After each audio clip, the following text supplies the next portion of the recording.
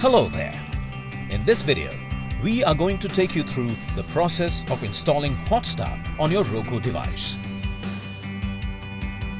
To install Hotstar on your Roku device, go to the Home menu. This is how the screen will appear. Now, from the list on the left side of the screen, scroll down to Streaming Channels using your Roku remote and press OK. Now scroll down to Search Channels. Click OK. Type in the word Hotstar with the help of the on-screen keyboard.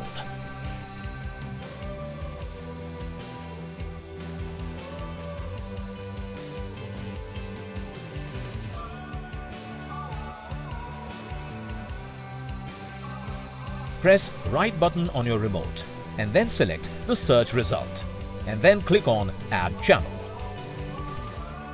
You'll get a message once this is done. Click OK. Hotstar icon would have come on the home panel of your Roku device. Now when you select Hotstar and click on Go to Channel, you'll be asked to activate Hotstar. To activate Hotstar, you'll have to open Safari on your iPad or Mac. Or if you own a Windows PC, you'll have to open Google Chrome or Internet Explorer. Then you'll have to type us.hotstar.com slash activate and open the page. Once on the page, you'll have to sign in and then type in the code which is currently displayed on your television screen. Once you click on activate, you'll be able to watch all your favorite content seamlessly on Hotstar.